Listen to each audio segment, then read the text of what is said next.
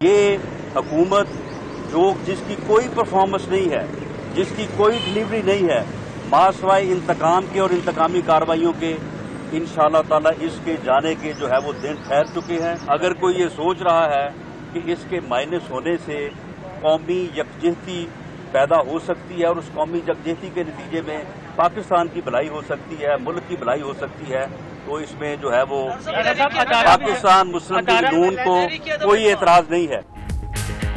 Minus Imran Khan से मुल्क का भला हो तो नून लीग को कोई एतराज़ नहीं। राना सनाउल्ला का कहना है इदारे बहरान का शिकार मीशत का बुरा हाल हुकूमत का जाना ठहर गया। मसाइल का हल मिड टर्म इलेक्शन है। मुल्क को तरक्की देने वाले लोग जल्द हुकूमत में आएँगे। उधर एहसन इकबाल का कहना है माइनस वन नहीं बल्कि माइनस अहल होंगे।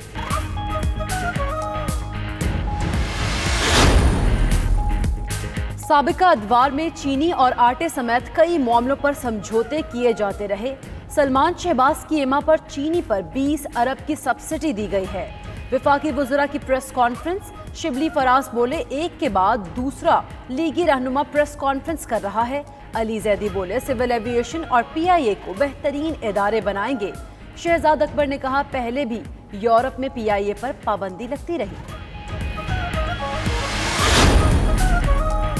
बड़ी अपोजिशन जमातों ने वो किरदार अदा नहीं किया जो हुकूमत गिराने के लिए काफ़ी हो। मौलाना फजल रहमान कहते हैं अपोजिशन माइनस वन की बात करे तो समझ आती है, हुकूमत खुद ही ऐसी बातें कर रही है।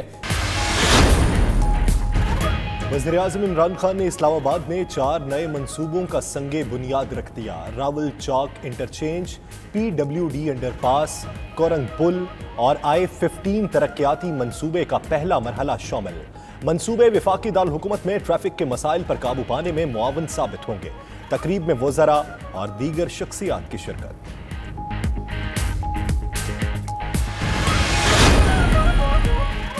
वज़ीर अजम ने माहौलियाती तहफ़ के मेगा प्रोजेक्ट का इजरा कर दिया। मुल्क भर में पंद्रह नेशनल पार्क बनाए जाएँगे। इमरान खान कहते हैं, तेज़ी से बढ़ती हुई आबादी के तनासुर में माहौल का तहफ़ बहुत ज़रूरी है। गाइडलाइंस देंगे कि कैसे नेशनल पार्क्स को महफूज बनाना है। नए टूरिज़्म पॉइंट्स भी कवानीन के तहत ही बनाए जाएँगे।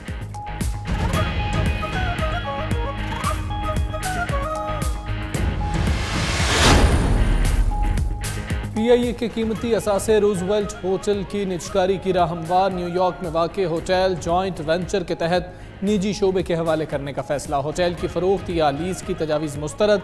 जराए के मुताबिक काबीना कमेटी बरए निजकारी ने जॉइंट वेंचर के लिए मालियाती मुशीर रखने की हिदायत कर दी। रोजवेल्ट होटल की निजकारी के लिए कायम टास्क फोर्स ख़त्म करने का फैसला।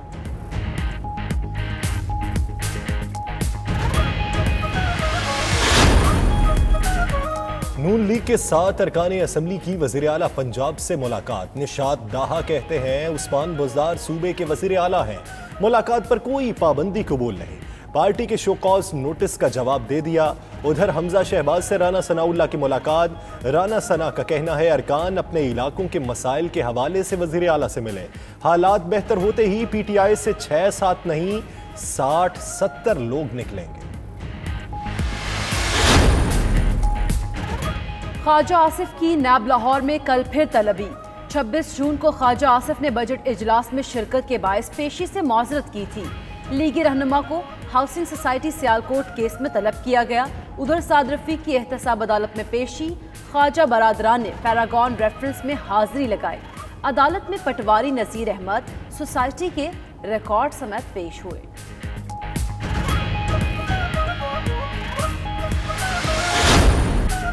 पंजाब काबीना का मार्केट में आटे की कीमतों में कमी के लिए बड़ा फैसला। फ्लोर मिल्स को गंदम के इजरा की अबूरी पॉलिसी की मंजूरी दे दी। सरकारी गंदम के इजरा से 20 किलोग्राम आटे के थैले की कीमत एक हज़ार पचास रुपये से कम होकर आठ सौ पचास रुपये हो जाएगी। फ्लोर मिल्स को एक हज़ार चार सौ पचहत्तर रुपये फ़ी मन के हिसाब से गंदम फराहम की जाएगी।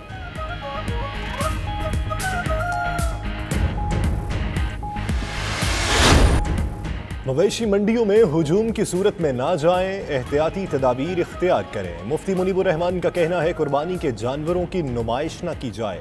इज्तमाही कुर्बानी, दीनी मदारस और फलाही तंजीमों को तरजीह दें। शायद कोई साजिश है, कुर्बानी की खालों की कीमतें इंतहाई कम कर दी गई हैं। हुकूमत को एस ओ पीज जारी कर देना चाहिए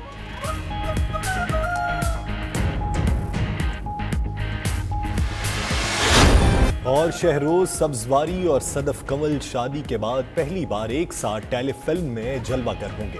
टेलीफिल्म घर के ना घाट के ईद उल अजहा पर रिलीज़ की जाएगी। शहरोज और सदफ ने शूटिंग की तस्वीर शेयर कर दी।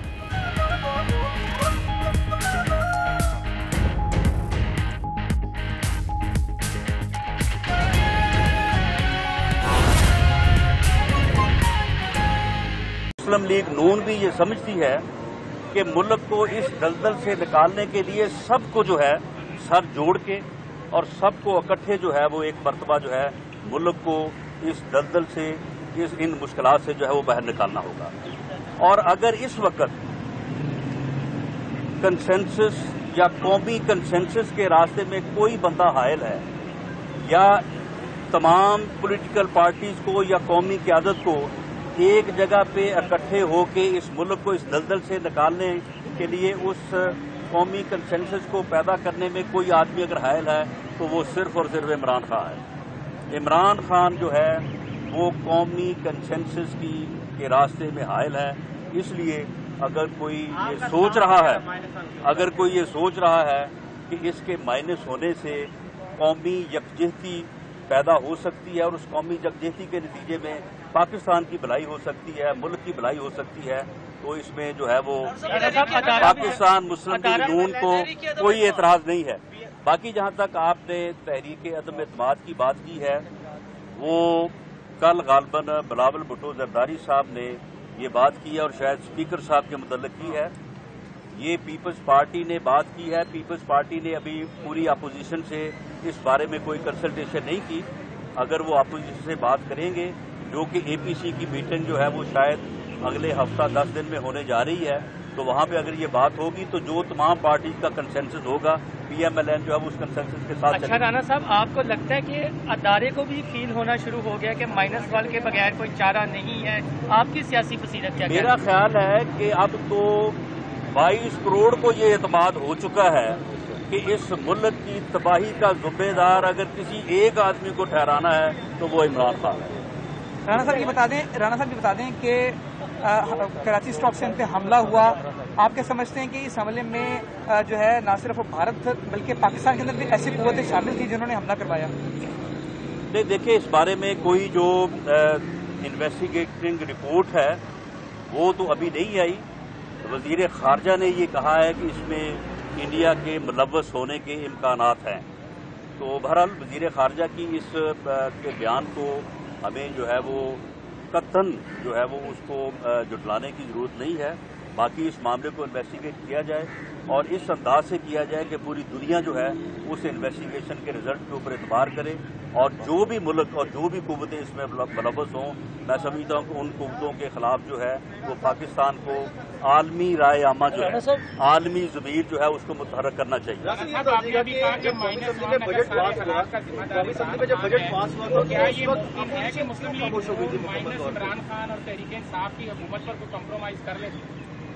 देखिए ये प्रपोजल अगर सामने आती है तो पीएमएलएन जो है वो अकेले से कोई फैसला नहीं कर सकती। पीएमएलएन जो है, वो ठीक है कि वो अपोजिशन को लीड कर रही है। जो लीडर ऑफ़ द अपोजिशन है, वो मियाँ शहबाज शरीफ साहब हैं। लेकिन जो भी तजवीज़ होगी, उसको अपोजिशन की तमाम जमातों या ख़ास तौर पे जो बड़ी जमातें हैं, जिसमें पीपल्स पार्टी और जे शामिल है उनकी मुशावरत के बाद ही कोई फैसला राना साहब आप राना साहब आप बड़े बजट पास हो रहा था देखें जब बजट के ऊपर वोटिंग हो रही होती है तो अक्सरियत साबित करना जो है ये गवर्नमेंट का काम है। अपोजिशन जो है अपोजिशन ने तो बजट के ऊपर जो है वो अपनी अक्सरियत साबित नहीं करनी होती। और ना ही जो है वो बजट अपोजिशन ने पास करवाना होता है। लेकिन किसी भी मनी बिल के ऊपर या वोट ऑफ़ कॉन्फिडेंस के ऊपर, ये गवर्नमेंट की रिस्पांसिबिलिटी होती है गवर्नमेंट की ज़िम्मेदारी होती है कि वो कम अज कम कम अज कम सिंपल मेजोरिटी जो है वो वहाँ पे साबित करे। और सिंपल मेजोरिटी जो है वो कौमी असम्बली के मौजूदा ईवान में 172 वोट्स है। हुकूमत जो है बजट पास करवाते वक्त सिंपल मेजोरिटी जो है, वो भी वहाँ पे जो है वो साबित करने में नाकाम रही है। और हमारा ये दावा है कि इमरान खान की हुकूमत जो है, वो ईवान में पहले तो सिर्फ़ पाँच वोटों की सादा अक्सरियत से, बल्कि बड़ी थिन जो है वो मेजोरिटी से जो है वो कामयाब हुई। और इस वक्त उसे सिंपल मेजोरिटी जो है, वो भी हासिल नहीं है। और जो उनके अलाइज हैं शायद उन्होंने उन्हें इस मरतबा आखिरी मरतबा जो है वोट दिया। राणा साहब आप बड़े सख्त नाकिद रहे हैं इमरान खान के। एक जमाने में यहीं पर साल डेढ़ साल पहले आप इमरान खान को एक कठपुतली करार देते थे। आज दो साल बाद आप तमाम मलबा इमरान खान पर डाल रहे हैं। ये इतना बड़ा चेंज ये मलबा पूरी कौम डाल रही है। ये मलबा जो है ये पूरी कौम डाल रही है और वो बंदा जो है वो खुद वो खुद on the floor of the house खड़ा होकर सारी ज़िम्मेदारी ले रहा है। आप मुझे ये बताएँ कि ये जो चीनी बहरान है, क्या ये भी पिछली हुकूमत ने या मियाँ नवाज़ शरीफ के की वजह से जो है ये पैदा हुआ?